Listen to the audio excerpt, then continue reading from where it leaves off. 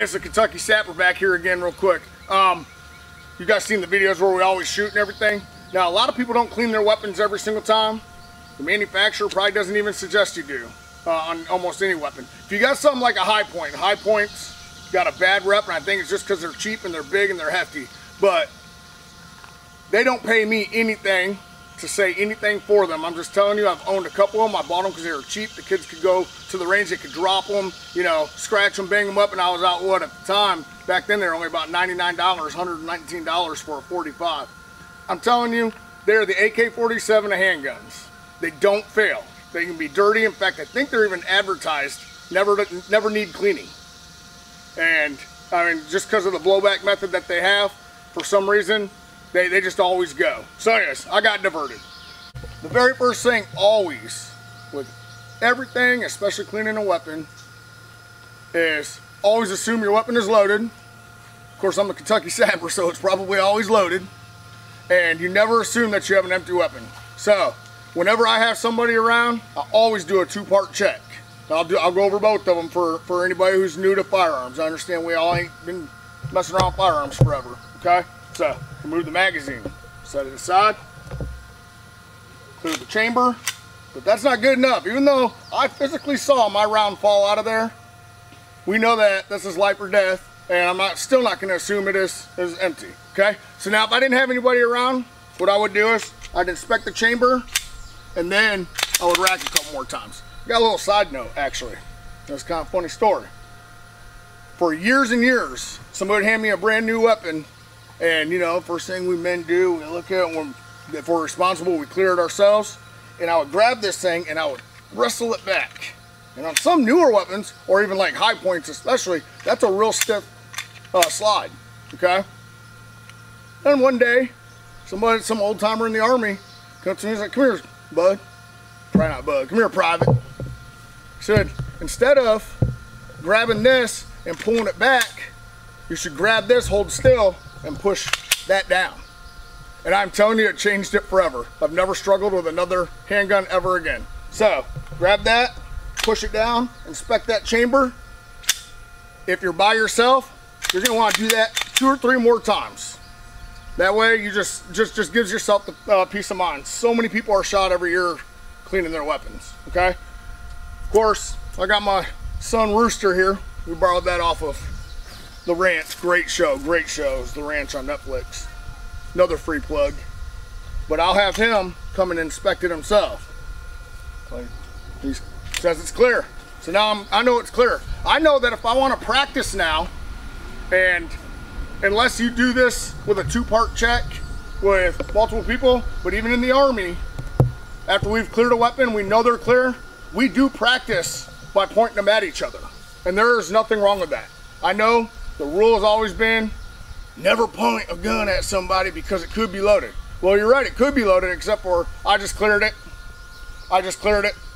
I did the single person check and I had somebody come over and verify that's clear. Now, when I do do any kind of training scenario with that, I'll take all ammo and I will completely separate it away from, and I'm talking normal separation, like locked up in the house or something while we're out running drills. And in future videos, you're gonna see certain close quarter combat drills where we are pointing real weapons at each other because I just have a lack of sticks to make me uh, look like real weapons. Okay, so, okay, so now we've cleared the weapon. We've gone over all that. Now we're gonna clean, uh, we're gonna disassemble. This is a Walther Creed nine millimeter, um, given to me by a fellow veteran named James. We call him Pineapple uh, by his choice because he's from Hawaii. And uh, but Pineapple one of my uh, best friends here in Kentucky. Um, he brought this out brand new in a box. It's Walther Creed. And uh, we were out just shooting it and everything. And um, when we got done, he just said, hey, from one veteran to another, man, I actually bought this for you. And gave me a brand new out of the box Walther Creed. And not just because it's free and not because Pineapple might see this video. I'm telling you, this Walther Creed really is um, a very reliable, um, awesome gun. The only thing I would warn you on is there are absolutely no safeties on this firearm. None. There's no thumb safety, no, you know, like 1911 has the um, grip safety, not even a double trigger safety. This is a true combat weapon that is meant to deploy immediately. So if you're brand new to guns, probably wouldn't recommend you yet to go out and get the Walther Creed. Get something with safety. So now we're gonna um, clean this. So all I got, I got a couple little helpers who wanted to be in here because I'm the Kentucky Sapper and I'm raising good conservative children. First foremost, towel. You'll see why later. And probably for obvious reasons, you gotta wipe down your weapon, of course, and everything. I use gloves because my secret ingredient that I'm about to reveal here pretty soon, I just don't want it to soak through my skin. That should be any kind of solving or anything. I didn't realize until I got older that um, probably, actually it's kind of strange. There's with the invention of things like um, um, nicotine patches and um, testosterone gels for men. Uh, that all that stuff relies on getting you to a certain plasma level inside by absorbing through your skin. I always thought the skin was pretty impervious. So after that, I started using rubber gloves when I, whenever I mess with any solvents, whenever I mess with any gasoline, you know, just side issue anyways. And then I got me this real simple gun cleaning kit, okay? You're gonna see I'm kind of unorthodox on some types of things, but I learned from the best. And um, I even defy some of the army's, you know, logic, but the army was real good about keeping your gun cleaning kit just to whatever you invent it.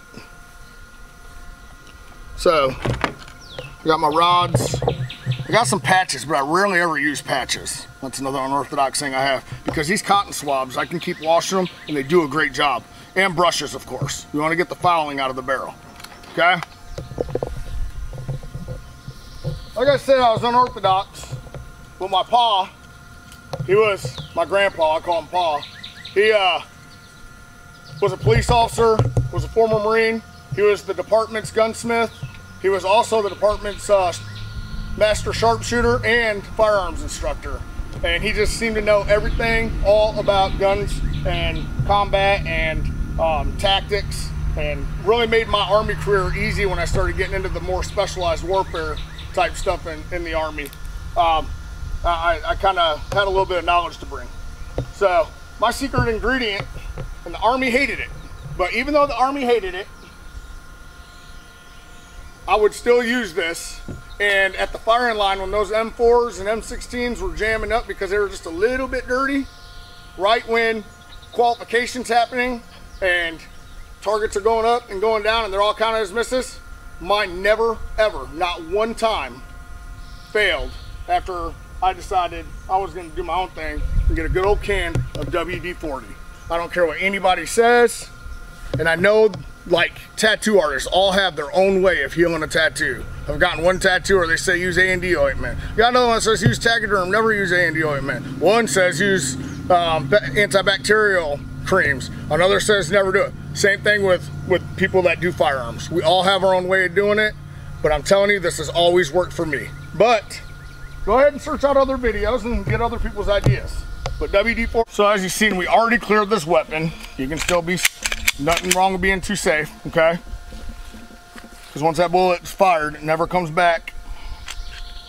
So simply lock this weapon open, okay?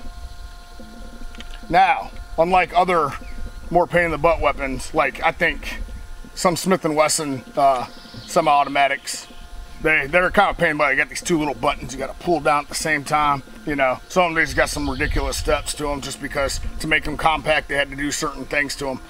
Creed, or Walther, who made this Creed, did a wonderful job for a combat handgun. Okay, so got it locked back. Pulled that little lever down right there. I release it, and all I gotta do is just pull it forward. That's all I do is just slid it forward. Okay, if it hangs up, just wiggle a little bit and it'll come loose. Okay, so now you have what's called the upper and the lower. Lower is real simple. Lower is nothing but your magazine well slash hand grip. You got your trigger assembly in there, which messes with that. And, and just whatever parts they needed to make slides happen and, and whatnot. Too much to get into. Okay? You can still see that I still got WD-40 on there from my last cleaning. That's a good thing. Because wherever that WD-40 is, I don't have to scrape the fouling off. One problem that I see with the M4 system, in the Army especially, is you clean it because I'm to tell you right away, I'm not a big fan of the M4 platform, okay? Just because of my Army days. I've just seen so many times where you need your weapon the most in the Army and it fails because the M4, M16 uh, system, it's just garbage. Should have been replaced many, many years ago. Um, I'll go into a separate video of how it even came to be. It was under the Kennedy administration, and probably half of all Vietnamese or Vietnam uh, American deaths from the Vietnam War, um, I bet you were due to weapons malfunctions. Uh, it's just a terrible, terrible weapon system. But they clean them so darn well, but they forget to ever re-lubricate them really. Okay? Good thing about WD-40 is as I clean, I'm lubricating, and you can see that lubrication. This thing went through a ton of rounds, and that lubrication's still there. It makes cleaning just super simple, okay? Let me put that back over there. All right, so now you're not gonna do much with the lower. You're gonna do a little bit of cleaning, but most of the action happens right up here with the upper, okay? So, first thing you're gonna do is you're gonna remove this little spring thing. Remember, when we put it back together, and I'll remind you, the nipple goes back in the weapon. The big nipple, so the little nipple stays to the back. The big nipple is, good, is made to fit in that little hole right here. Sorry, I had a little bit of coffee. Okay? So, take the spring out. And the next part is the barrel. If you ever wonder like I used to. A lot of things I used to wonder about with weapons is when they say, I, you know, you have a uh, 1911 with a six inch barrel. I always wondered on this big slide, where, where does the barrel start? Where do you, do you, start measuring it from where the firing pin is? Whatnot? This is how you measure your barrel, right here. Take your barrel out, measure the doggone thing, and you got your barrel measurement, okay? So you got your barrel, got your spring. I don't take my spring off of this. When the M4 system, you can take the spring off and clean it. It's, it's probably pretty good to do because they like to jam up when they get the slightest bit of dirt in them. But most weapons, this spring does just stays right on here, okay? Now we're gonna open up our cleaning kit. Um, grab me that towel. The very first thing I'm gonna do is do what I can with my hand real quick. So start wiping any kind of fouling out. Like I said, WD-40 makes the next cleaning so much easier and makes weapons never fail for me, ever, with WD-40. So now I've just done a real quick clean out of what I can get, okay? The order you do things is entirely up to you, but I've had to clean so many weapons in my lifetime that I've learned to streamline it, okay? See how dirty that spring is? So I try to get the little fibers in between there. I couldn't see uh, fouling and things like that and old gunpowder really stopping this spring. But you know what? I want a nice clean weapon. Okay? Now, next thing I'm gonna do. So I'll just wipe that nice and you know do a real quick wipe. Now is where the magic happens. The deep the deeper cleaning, step back, because this will stain your clothes, give you all those good grease stains okay? And I just, I, I mean, I wet it down. There's nothing wrong. There's nothing I'm gonna do. Some people say, well, weapon that wet, track dirt. A weapon that wet after I dry it down and it's all put back together, well, not attract enough dirt with the very little bit of oil that's left over, especially with a penetrating oil, not some thick, you know, motor oil, um, to ever stop this weapon. In fact, actually, I'm improving the, uh, the performance of it. And then I go ahead and I start wiping everything down that I just soaked, okay? I like to get, you know, just in case there's a little bit of extra oil that's in there, but that's lubricating my um, hammer. It's lubricating all the trigger pieces because general cleaning of a firearm, general cleaning, what we call 10 level in the Army, which is just operator level, never has you disassemble your trigger assembly. You um, you disassemble it and you'll probably have that weapon at the uh, local gunsmith trying to get it fixed. But I clean out, even my magazine well. Most people don't clean out their magazine well, but I do because there's stuff that likes to get in there. And when I'm in combat, and I'll show you this in a future video, and I drop that magazine, I want my next one to slide right in. I don't want any catching, I don't want anything. I don't want to have to guess at it because that means bullets are flying my way. Okay? So I wipe that down. Then I'll take uh, any any brush. I'll brush around the metal parts. You know, be careful the plastic parts. They're not meant to be brushed with copper brushes. But you want just to make sure there is absolutely no fouling in your weapon. Okay? The lower is real easy because it's got very few parts that need to be scraped or worried about. Okay? Okay, so now I've cleaned that lower. Now the real work begins. And I'm gonna do the same thing. I'm gonna wipe out what I can with my towel. Wipe all the metal because that WD-40 also protect it from rusting. Fingerprints are a big reason weapons get rusted, little rusty spots on them. Okay, then I'm gonna take a real thin little wire brush. Anyone will do. I really want this little, I think that's for a 17 HMR. What I think it's called. But I'm gonna get in there because these are metal parts and I am gonna scrape in there. I'm not worried about the paint, not worried about any of that stuff. I want to get any fouling off whatsoever that I can get. Good thing about the M4 system is you can remove, easy, easily remove the firing pin or the bolt. But I get in there and I scrape, especially along that slide, because you don't ever want that slide hanging up because that's a misfired weapon. Kids are getting distracted, heading toward the trampoline. Take it, you can see I got this metal brush that I'm probably never going to use because I'll never own a 17 caliber weapon as far as I know.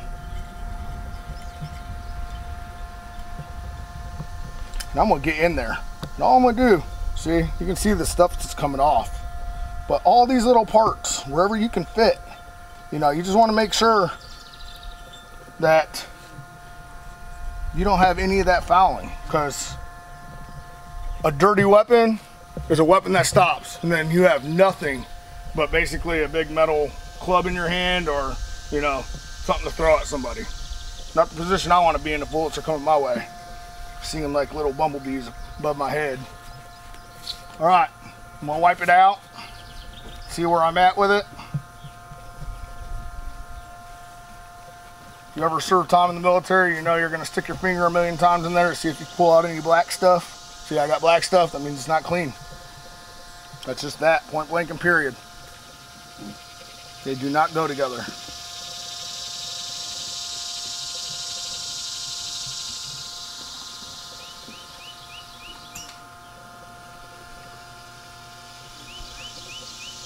Almost done with this part. I'll take, you know, something, push my little towel down in there and get everywhere.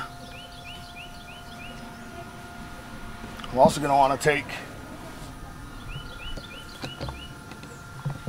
something little and get down those slides just to wipe any loosened grime that I got in there out out of the slide area. That slide area is very important.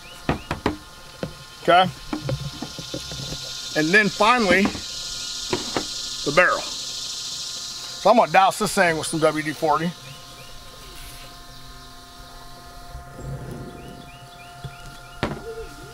I'll just keep this sloppy, I don't even wipe it off. I want that oil to get good and soaked into this barrel, okay? It's just so important. This is where your round feeds up, that gets dirty, round doesn't feed correctly. Obviously this is where the round is fired if you have any occlusion on that rifling, that, that, that round's not gonna spin perfectly and uh, it's gonna affect your accuracy. So I keep the oil soaking into this.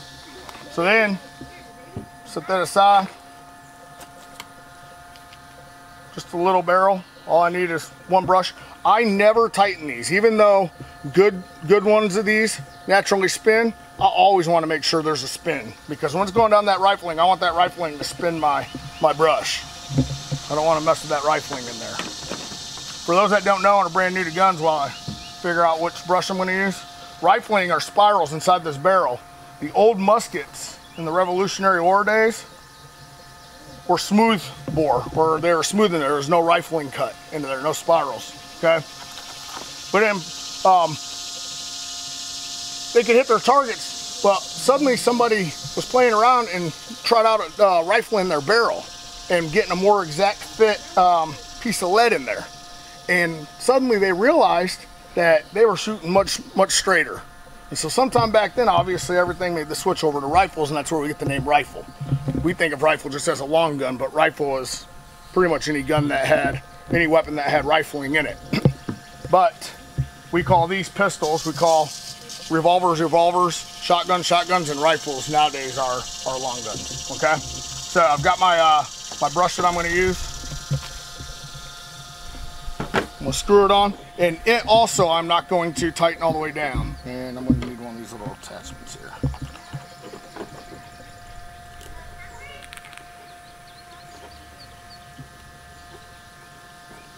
Okay? Always, whenever you can. Can't do this with revolvers, obviously. But I always want to feed my brush, just because my pa told me to, I don't know why, from the breech end to the barrel end. So this thing sits in the weapon like this. So I'm gonna feed from there. I got really loose brushes, so that way they can spin. And all you need to do, you don't have to go crazy with it. I stick it through, back through, through, and back through. I've never had that not clean out, especially with today's modern ammo, all the things. But you can take it and look in the sunlight, you'll see, man, it's shiny. If you see little specks in there that look like they're stuck, then do it again, but you probably never will have to. Then I immediately go to taking this and I'm gonna scrape where that round feeds from the magazine up this little ramp and into the thing because you cannot afford to have any fouling in that area right there. So a question you might get in your comments is, did you feel the brush actually spin inside there or did you clear it and clean it to make a new one?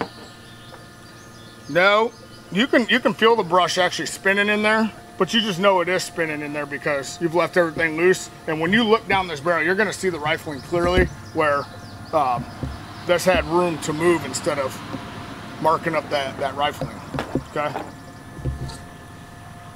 So now I've got that all scraped. I'm gonna wipe down the outside of my barrel. We'll make sure that that's clean, which it is. There's no, no grime coming off of it. And now I'm gonna quite simply take this and replace it with the appropriate size swab. And that is why I never use these patches. I've used them, but generally I don't. I like these. And you can throw these right in the washing machine.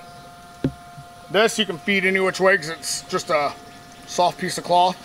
All I'm doing is getting any of that loose fouling. Like I said, because I use WD-40, this is easy. When I use two-part system, a solvent, cleaner, and then their version of a gun oil, which is supposed to be like WD-40, but nobody matches WD-40 in their quality, I think. And I don't get paid by anybody to talk good about these products, just what I know. Cleaning used to take me a little bit of time. And uh, now I, I've pretty much got this weapon already cleaned. All right, so we're gonna go in reverse order now. That's all we're gonna do. So you're gonna take this, you're gonna slide that barrel through the hole and then just bring it back. You'll see it fits into itself. You'll see it lock right into place, okay? Which way did we say we had? Nipples, we have the little nipple back toward the gun. The big nipple is gonna fit in that little second hole at the muzzle. And all I'm gonna do is there's a little itty bitty notch right there. So I'm gonna stick this in there and I'm just gonna sit it down in there. Now, if I can do this with my coffee hands, you can do this at home. Okay? So now it's all put back together, right? Now, I took it off by sliding it all the way forward. So obviously I gotta start all the way forward and start lining it back up on its track, which is real easy to do. I got it put back on. And I'm gonna lock it all the way back with the little lock. Simply turn that. And then I'm gonna let this loose and see if it catches. It caught. Feels like it's doing this. I'm gonna take my nice little oily rag. Some fingerprints. Put a little bit of oil on it. I was gonna wipe down, you can wipe down the plastic and everything with this, but really the metal is the most important part. The oils in our fingers cause, um, when, when, when some weapons do start rusting, it's a lot of times where you're grabbing them. And this just protects it. And I'm gonna just cycle it, cycle it, cycle it. And then most times, and you say, why would you do this when you just cleaned it? And you're gonna make it just dirty again? Two rounds isn't gonna dirty a gun that, that bad. But I want, for my primary carry, uh, carry weapon, or any weapon I might be carrying, I want to be able to cycle it. So first thing I'm gonna do, so I'm gonna cycle it once or twice, make sure it's feeding rounds. See, it's obviously feeding rounds. I'll put those back in in a minute. Most important thing though is this thing is this thing gonna fire and keep feeding. Okay, so I always do two rounds. Just right into the ground. I know that it cycles. That weapon did not get that dirty. If you feel the need, and I do sometimes because I love a clean weapon, I'll clear it again. Have Rooster sit here and look into it. Clear. Okay.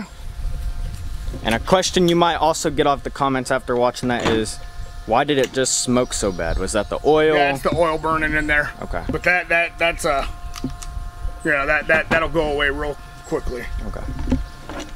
But I'll stick my rag down in there just to you know where it fed and stuff, and just give it one quick final wipe down. Load my magazine back up.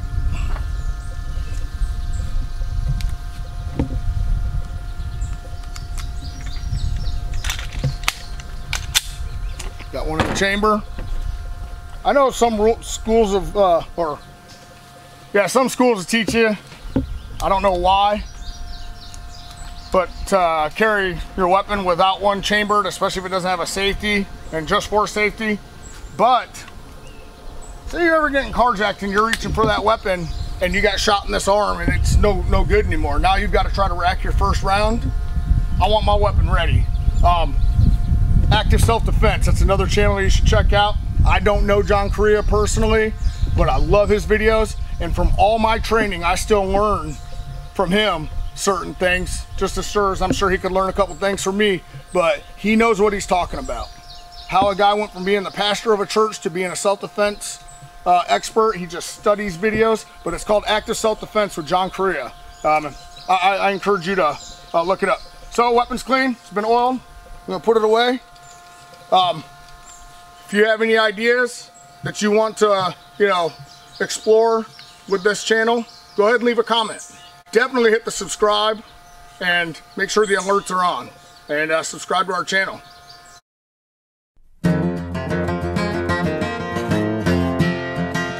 In constant sorrow